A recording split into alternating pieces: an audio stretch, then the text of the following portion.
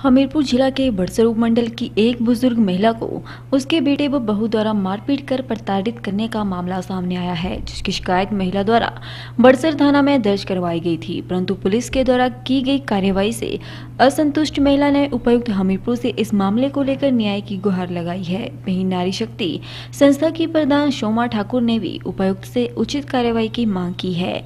हमीरपुर जिला के खास बड़सर गाँव की श्यामो देवी, पत्नी स्वर्गीय श्यामलाल ने अपने बेटे व बहू के खिलाफ बार बार मारपीट करने को लेकर उपायुक्त से कार्रवाई की मांग की है। हमीरपुर उपायुक्त कार्यालय पहुँची।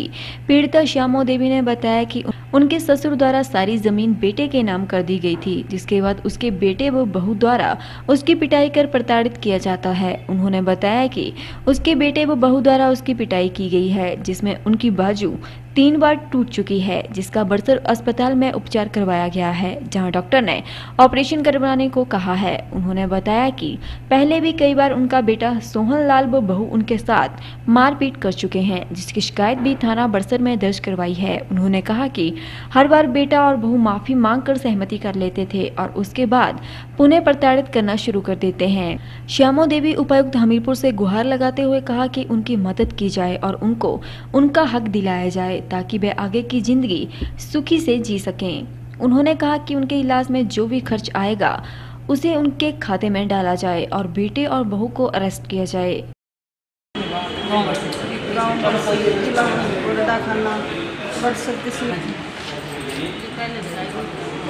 सर जी मैं बुज़ुर्ग हूँ और बात यह है कि वो मेरे को घर में खड़ना भी मेरे को बड़ा मुश्किल है और मेरे वो मेरे ससुर जी ने उस बेटे के नाम पर प्रॉपर्टी कर दी है सर जी।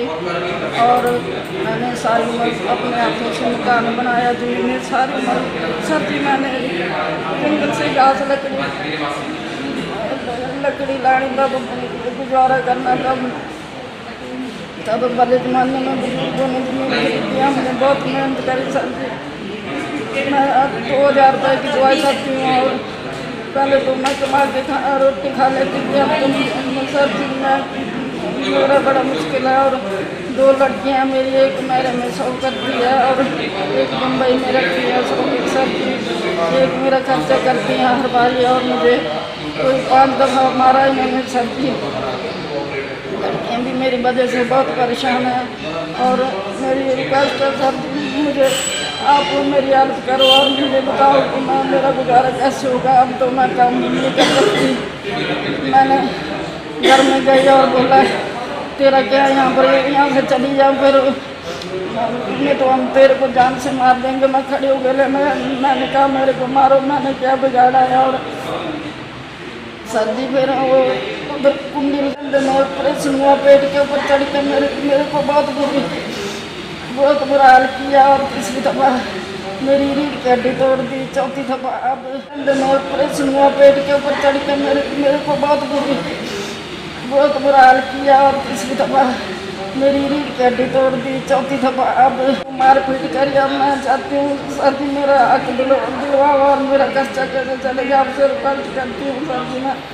मैं बुज़ुर्ग हूँ अब मैं काम नहीं कर पाई थी तब मैं पुलिस चौकी में गई और वहाँ पर मैंने सर जी कुछ वालों को कहा कि मेरे को जहर दे दो और मैंने कितनी दफ़ा सर जी एप्लीकेशन दी मेरी कोई सुनाई नहीं थी सुनाई नहीं होती फिर में और बड़े ज़ोर से चलाए इन्होंने और घर वाले ने भी और लड़के ने भी दोनों ने उस डंडे के साथ सर जी मेरे, मेरी पिटाई कर दिया और बोला, इसके सिर में नहीं सिर में नहीं मारनी और इसको, इसका आडाड मार दो, इसको आडाड चुथी दो, इसका और बड़ी मुश्किल से सर जी दोनों गले में अंगूठा देने लगे स्वयंसेवी संस्था नारी शक्ति की प्रधान सोमा ठाकुर ने बताया कि श्यामो देवी के बेटे और बहू ने श्यामो देवी की बुरी तरह से पिटाई की है, लेकिन अभी तक उनके ऊपर कोई कार्रवाई नहीं की गई है, जिसको लेकर उपायुक्त से न्याय की मांग करने आए हैं, ताकि श्यामो देवी को न्याय मिल सके।